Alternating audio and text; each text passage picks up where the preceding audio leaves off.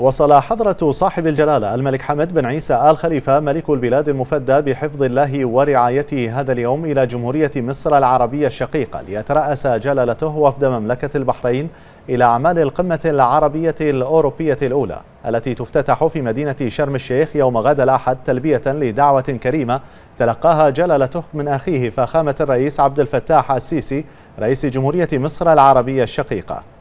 وكان في مقدمة مستقبلي جلالة الملك المفدى لدى وصوله مطار شرم الشيخ الدولي. معالي الدكتور مصطفى مدبولي رئيس مجلس الوزراء بجمهورية مصر العربية الشقيقة. وسعادة الشيخ راشد بن عبد الرحمن الخليفة سفير مملكة البحرين لدى جمهورية مصر العربية وكبار المسؤولين المصريين. رافقت صاحب الجلالة السلامة في الحل والترحال. وقد تفضل حضرة صاحب الجلالة لدى وصوله بالتصريح التالي.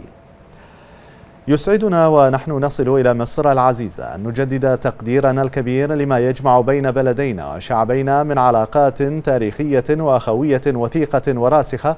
ستظل ونظل نفخر ونعتز بها. وتقديرنا أيضا للدور الإقليمي والدولي المحوري لجمهورية مصر العربية الشقيقة بقيادة أخينا فخامة الرئيس عبد الفتاح السيسي.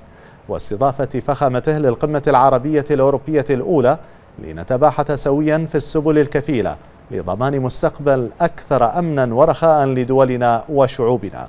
ونؤكد أن انعقاد هذه القمة يرتكز على أسس متينة من الشراكات الاستراتيجية والعلاقات القوية بين الدول العربية والدول الأوروبية ويعكس عزمها وإرادتها الصلبة في مواجهة التحديات السياسية والاقتصادية والأمنية المشتركة.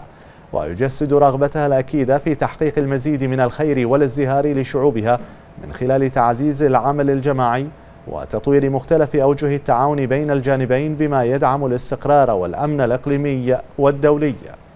وإننا على ثقة بأن هذه القمة ستكون مرتكزا لمرحلة جديدة من تعاون وعلاقات وشراكات بين الدول العربية والدول الأوروبية على كافة الأصعدة بما نلمسه من تضافر في الجهود وما نملكه من إمكانيات ومقومات من أجل تحقيق آمالنا وتطلعاتنا وأعطاء دفعة قوية وأحداث نقلة مهمة في مسار العلاقات فيما بيننا وبما يخدم مصالحنا المشتركة.